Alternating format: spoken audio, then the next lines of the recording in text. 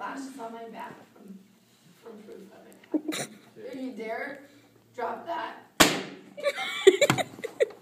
Scared. Do you fear? Still scared. I, I feel it and I hear it from off. So, does Amanda, look at the giggling already.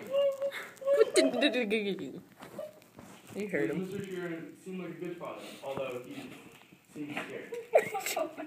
She's I been feel like lately. he's doing something behind the lawn that he's is doing to the of his child. Okay.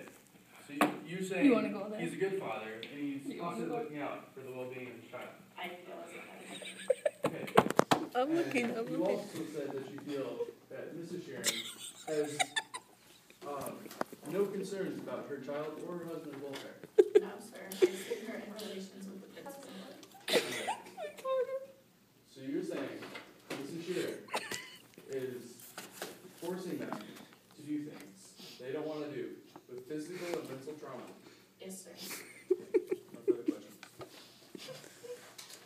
Thank you, Jake.